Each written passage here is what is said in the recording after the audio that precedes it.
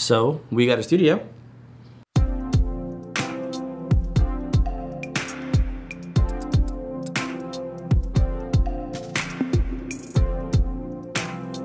Welcome back, Erwin here with Building 8 Media. I know it's been a while, close to like six months since we last uplo uploaded a video, and I know it's terrible, but we haven't kind of fallen off the wagon. We've really been pushing at it, just in different ways.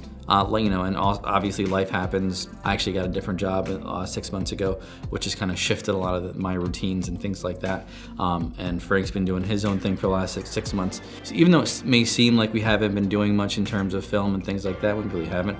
We haven't forgotten about it. And any, if anything, we've actually kind of pushed forward. As you can see, we're in a new, I'm in a new location. This is our studio. It does have some terrible, terrible carpet but we'll fix that later on. So a lot of our videos are gonna be based right out of here, which is awesome. Um, and hopefully, in fact, I don't wanna go into it too much because I'm waiting for Frank to come back up and then we'll do a video on the studio. For right now, what I wanted to do is focus on microphones for today. I wanted to make a video that's gonna be about you're getting your first microphone, your first high-end microphone, and what you should be doing with it. Um, the other day I was talking to Frank and he let me know he was gonna put in this microphone, it's just a USB mic, plug it into his computer, and then pull up Windows audio recorder, if you remember that, and start doing his audio from there, which is crazy. Blew my mind. I was like, I didn't even realize that program still existed. Never, never mind actually using it. So I figured, you know what, I tried to explain to him, you know, this is what you should be doing, but I'm like, I'm gonna do a video and hopefully not just him, but everybody else can benefit from it as well. So here we go. First thing you're gonna need obviously is, an, is a USB microphone. So let's assume you already got that. I have a blue Yeti Pro here, which is awesome. Um, uh, most people have like the silver one, which is USB only. The only real difference is that this one has XLR out and, and USB. Uh, so if you don't really need XLR, then the silver one or the, all the other colors are basically fine. Only, that's the only difference. I'm sure they probably have other things in the Pro that make it like better because uh, it's like more than double the price. But most people just buy it for the XLR. So when you get your mic, you're gonna plug it into your computer, and then you're gonna start to pull up Audacity. Audacity is a free program, which is crazy. I don't understand how they're free.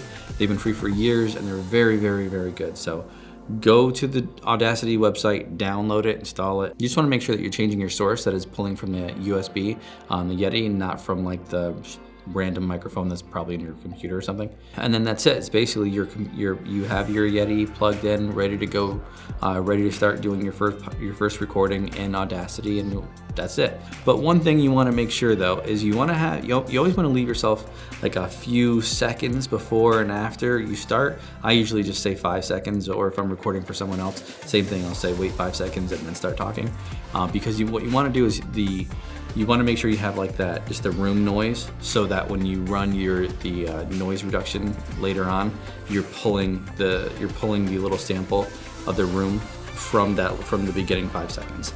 So I'll do that with you right now. So let's uh, let's let's see this. So now I'm sitting at my desk. I have the Yeti plugged into the computer. I have my headphones plugged directly into the Yeti, which makes things a lot easier for monitoring. Um, later on, I'll go through and recheck it on the computer to make sure it looks good. But your computer screen should really look like this. The only thing that's really important is once you launch it, you're going to make sure that you switch the microphone setting because it's going to default to whatever the garbage one is, the internal microphone here. Switch that down, make sure it says Blue Yeti Pro. You may, or whatever microphone you have, you may have to download the drivers, of course, to make it work depending on the microphone. I had to do that for this one. Um, also, quick trick um, if you have Windows 10, which I'm kind of new to the game on, um, you're gonna want to make you're gonna have some weird issues with Audacity. This is what you're gonna want to do to fix it because you're gonna get a weird error saying that it's unable to pull the microphone, blah blah blah, some weird nonsense.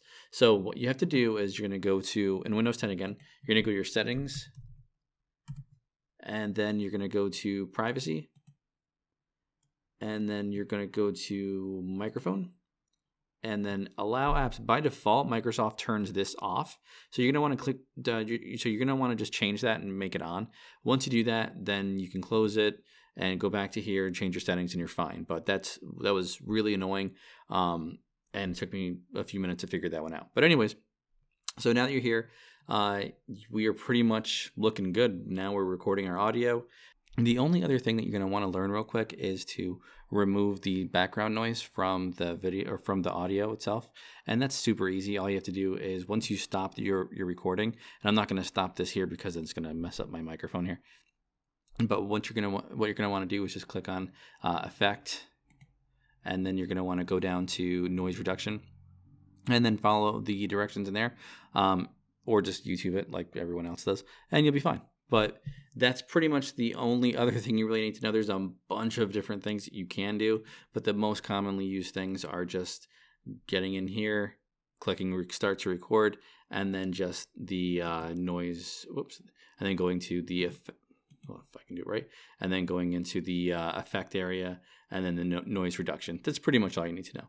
So I hope I was able to help you guys out with this. Um, give a like and subscribe and all that fun stuff if you haven't already. And I'll see you in the next one.